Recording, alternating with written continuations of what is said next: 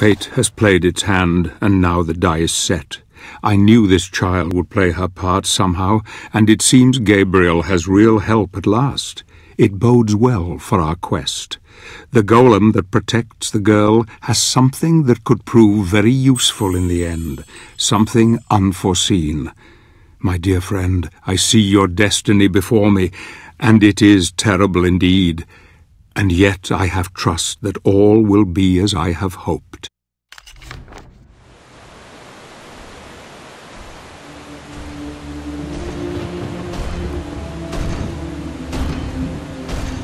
For thousands of years, this city overflowed with life. It was a sanctuary of magic, wisdom, and harmony. These people were the ones that created the crystals, which you've already seen.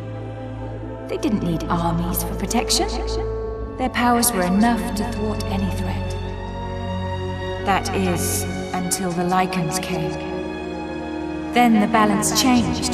Trolls, goblins, gremlins, creatures of nightmare besieged the city endlessly day and night. Most fled. Others used their remaining powers to create huge titans to fight against the invaders. The battle lasted centuries until there was no stone left standing. No one left. Those that did not die in battle were captured and devoured. My father was one of the last. He hid me. He created the Black Knight to be my protector. We have been running ever since. The Titans outlived their creators and stayed here fighting against an enemy that outnumbered them until even they were defeated. All except one.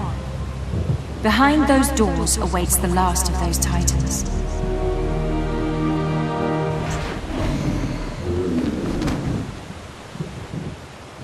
The only way to reach the Sanctuary of the Dark Lord is through that door. We will have to defeat the Titan if we wish to continue our journey. The door will only open with the power of a crystal. You need to find four shards to create a whole crystal. We will wait for you here while you look for them.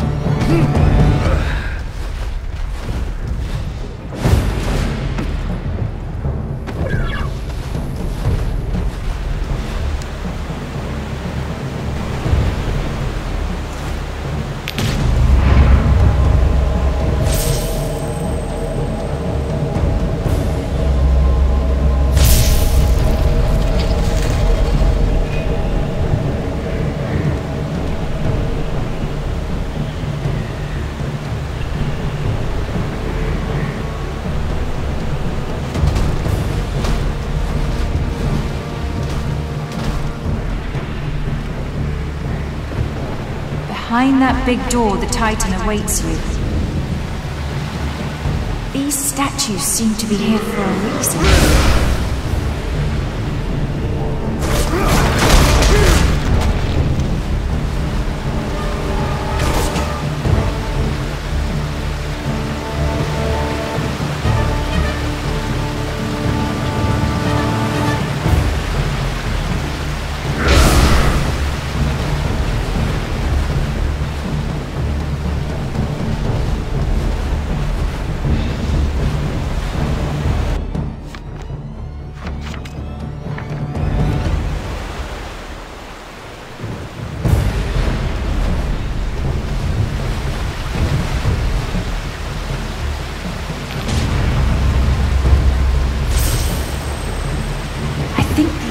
Statues can move somehow.